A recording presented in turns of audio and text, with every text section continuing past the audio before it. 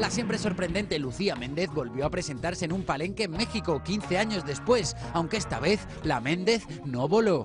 Todos los empresarios quieren que salga volando, porque la gente me quiere ver volando y con el mago, pero eh, en realidad creo que tiene que haber las características suficientes, sobre todo el poder eh, armar todo esto, de poder volar con el arnés, pues tienen que ser teatros del pueblo, tienen que ser teatros, lugares donde realmente puedas lograrlo. Y aunque Lucía no quería defraudar a su público, fue su nuevo novio Ya anda por ahí, pero no les voy a decir quién es. quien tomó la decisión de que Lucía no volara. Pues él no me dejó. Hoy en la tarde me dijo, no.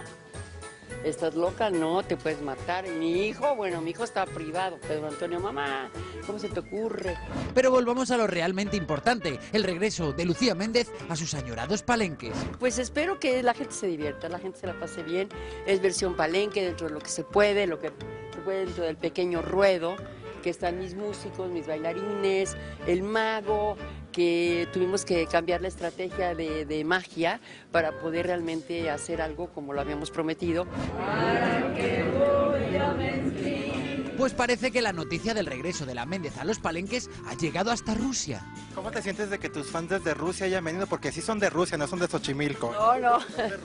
Sí, son, vienen desde Rusia, estoy muy emocionada, no, no tengo con qué agradecerlo. La verdad, créanme que ese cariño, al igual que los italianos, me acaban de, de comentar una nueva noticia, es que Un alma en pena se está oyendo en Italia, con mucha inversión italiana, con muchísimo éxito, y está en una televisora italiana también el extraño retorno de Diana Salazar. Y aunque esta vez a Lucía le cortaron las alas, que nadie se atreva a dudar de sus poderes. Claro, tengo poderes, ¿no? Y si ustedes me hacen algo, los convierto en sapo en cualquier momento. Pero de alguna manera lo único que les puedo decir es que estoy muy divertida jugando esta fantasía y que la gente se divierta. Es más doloroso, si fue mi primera, mi primer eh, truene con Javi. Casualmente, antes de ir a España, porque se voló la mosca, Javi me cortó. Porque no sé qué